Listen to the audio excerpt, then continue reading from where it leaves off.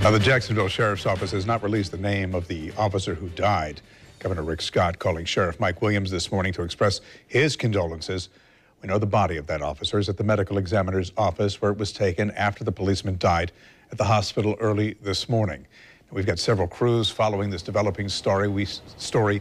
we start with News4JAX reporter Ashley Spicer, who's been on the scene all morning long. And one of the reasons we may not know the name, and the sheriff alluded to this earlier, is that he had a lot of family. They want to make sure that they notify everybody before giving his name publicly. That's right, Bruce. They want to make sure that the family finds out properly. He said that this officer has a big family and it's a spread out family, meaning not everyone's here in Jacksonville. So they want to make sure that everyone is notified first before they hear it from us. And honestly, that's the way it should be, and we want to respect that.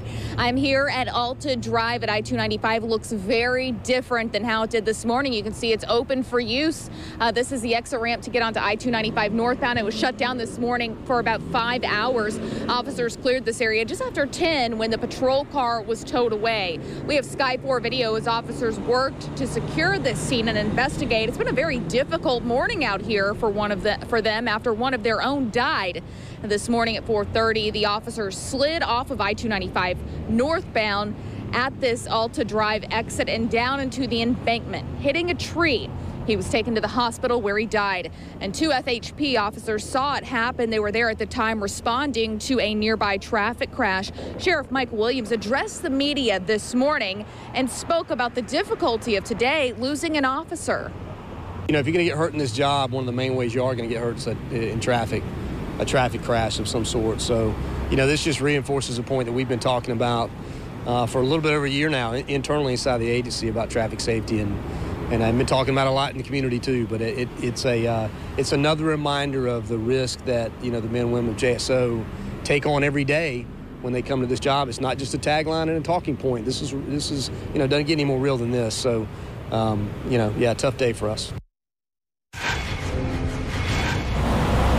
Very devastating. Again, this officer just doing his job, just pursuing, looking for a crash that had already happened, uh, you know, just patrolling through the area. And the sheriff says the weather could have played a role in that crash because it was raining very hard at 4:30. In fact, we were out here early, dark, rainy, slick roads.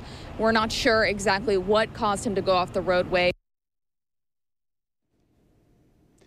Uh, Ashley was talking about the fact they're not sure about what caused that police officer to go off the roadway. We can tell you it was raining at the time, and Sheriff Williams said even though the FHP investigation is is not complete, he wouldn't be surprised to hear that uh, weather did not play a factor. It looks like the officer went off the ramp there at Alta Drive, down an embankment. We don't know if the car flipped, but there is damage on both sides of the vehicle, and the rear flashers were going. More on that FP, FHP investigation as the uh, day develops.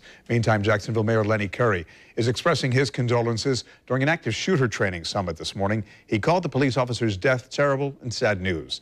The mayor led a moment of silence during the event in Riverside with sheriff's officers standing beside firefighters. News4JAX reporter Ashley Harding spoke with the mayor what more did he have to say? You know, Bruce, he reiterated again what a somber day it is here in Jacksonville, knowing that this happened, especially since today is also Police Officers Memorial Day. We're here in front of JSO headquarters. I just want to show you that black and blue banner that is there to honor officers killed in the line of duty. And also look over that way. The American flag has been lowered to half staff, and Sheriff Mike Williams had been scheduled to attend that active shooter summit this morning. That was until he learned what happened to his officer. Let's show you that video. This is video from that summit. The groups began first by holding that moment of silence for the officer who passed away this morning. And one thing we noticed, several officers had already placed a stripe across their badges symbolizing the death of an officer. Now, we spoke to both Mayor Lenny Curry and JSO Director Mike Bruno. Here's what they had to say about this tragedy that has happened in our city this morning. Every day that they go to work, they realize um, something could happen that, that changes their lives or, or the, the lives of their family. So, um, uh, you know, they're, they're mindful of it. But uh, I actually heard uh, someone the other day uh, talk about heroes or the individuals that every day pin on the badge or put on the uniform, knowing they may not come back, but go out anyway. Um, so, so, so that's what these men and women are. And as details emerge, uh, I've let the sheriff know, uh, and I was, when I was speaking to our law enforcement in there, you know, whatever, whatever the need is, uh, get in front of me and ask me, and I will move mountains to make it happen. And Director Bruno, whom you heard from there first, also talked about having lost other fellow officers in the line of duty over the years. Look beyond those beyond those doors you see there at the Police Memorial Building is a row of pictures of other fallen officers who lost their lives in the line of duty here here in Jacksonville. And there's no doubt today that the Jacksonville Sheriff's Office is paying tribute to this officer who gave his life in the line of duty this morning. Reporting live, Ashley Harding, Channel 4, the local station.